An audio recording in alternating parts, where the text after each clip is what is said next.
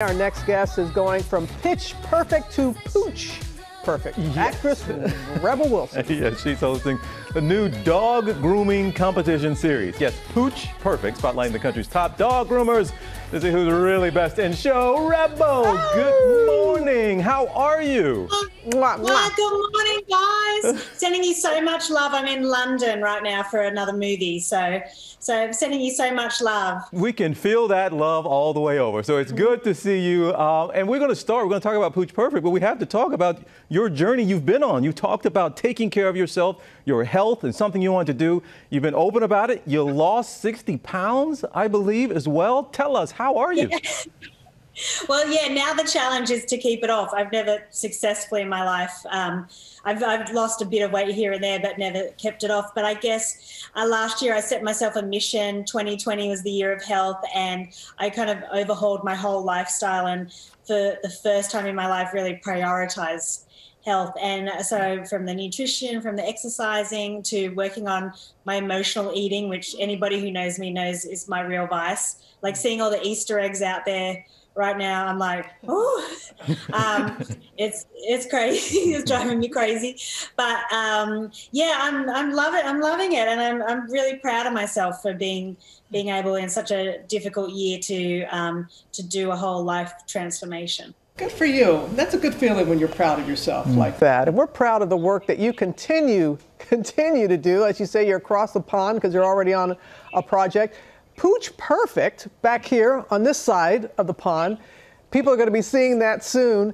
And I, my understanding is that you come from a family of professional dog showers, so does this okay, hit close to home? Yeah, so, so most people probably won't know this about me, but uh, dogs have been such an important part of my life. So I'm a fourth generation dog shower. Um, started um, with my great grandmother bringing beagles into Australia, and they bred beagles as well. And so my whole childhood from birth to about 12 years old was going to dog shows pretty much every single weekend. Wow. and how my family made money um, we had a little yellow caravan and we travel around to all the different shows um, and sell the dog grooming products for the dog showers. And, and that's how my family survived and, and, made money. So dogs are just a huge part of my life. And also a, my first introduction into the entertainment industry because our dogs were did commercials and had an agent. Um, and how I got to see my first ever musical is because one of our dogs auditioned for the musical 42nd Street. uh, didn't get the role because it like like to poop on the stage, but I got to go and see my very first first musical because of the wow. dog. So I have a lot to thank them for. Wow, dogs with agents and everything. Okay, so this role is perfect for you, but you have said that American uh, dog groomers are more eccentric than Australian ones. Uh, what's the most over the top dog look that you witnessed on the show? What these groomers can do because like they're such dog lovers and their creative skills are amazing. And so this dog that you're seeing right now this is a challenge that was called holly dogs which is where you had to turn your dog into your favorite holiday. So um, these contestants alyssa and justin um, chose halloween and it, I, you can't even see how how amazing it is in those photos. It lights up. It's got this little black cat that moved on the back of it. it's just like it's such an incredible, inventive design. And I mean, I would I would want to parade that dog down the street on Halloween trick or treating. Like that would you know maybe I wouldn't be so single if I did that. Uh, get a little attention. Uh, but our groomers are so fantastic and so creative. So I really can't wait. Every week there's different challenges, and I really can't wait. That's the Christmas dog that you see there, um, and that one's New Year's Eve. And you just like it's it's insane what these groomers can do to a dog. Mm. I I couldn't I couldn't do it. I couldn't snip. snip that. Uh, but speaking of these groomers, we hear that you helped out with a proposal of some sort. Oh, okay. This is well, we have the same um, showrunner who used to do The Bachelor and Bachelorette, like some of my favorite shows. And who would have thought in a competitive dog grooming competition there'll be a proposal? But there is, and it was a huge surprise, and I got to be part of it. And I'm not used to like television proposals, and I had to lure the young lady mm. out. And um, I think my acting was too good because I terrified her. I had to make up an excuse and didn't tell her, oh, you're going to get proposed to, just come on out. It'll be great. And so I just kind of had to make a drama up.